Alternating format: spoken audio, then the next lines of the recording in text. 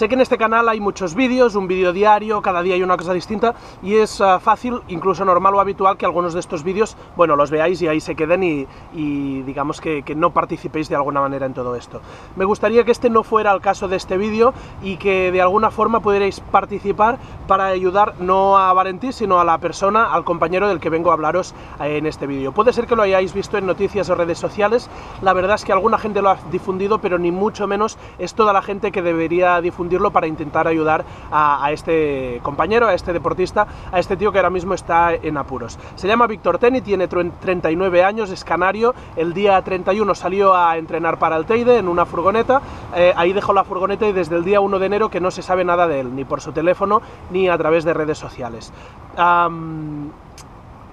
Se ha iniciado búsqueda y se ha hecho búsqueda hasta ahora. Según me comentan y según me explican algunos de sus compañeros, es posible que hoy se detenga esta búsqueda, así que es muy importante que toda la difusión, ruido, comentarios que se pueda hacer alrededor de esto ayude a que no solo siga esta búsqueda, sino que además eh, de forma calitativa pueda empezar de una manera incluso mejor. ¿Qué sucede? Eh, el Teide hay un, algunas partes que son muy técnicas, donde incluso los deportistas que han intentado subir a buscar a Víctor, pues hay algunas uh, partes que se les resisten son muy complicadas y lo único que ahora mismo podría ayudar a intensificar o a mejorar esta búsqueda es que hubiera un despliegue militar. Para hacerlo, según algunos compañeros uh, militares de Víctor que han ido a buscarle y según comentan ellos mismos, solo haría falta que el Cabildo eh, dijera despleguemos la, la ayuda militar para que esto sea posible. Para que esto suceda, ya sé que muchos diréis, bueno, es que esto no va según haya mucha gente que lo comente o según haya mucha gente que diga o según haya presión social,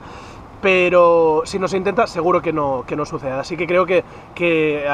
medios de comunicación, medios deportivos, eh, vosotros a nivel usuario como vosotros mismos, como deportistas o como lo que sea, poder hacer el comentario de todo esto para intentar que se produzca este despliegue militar en la zona, para intentar uh, encontrar a Víctor Teni, pues la verdad es que tanto amigos como familia como compañeros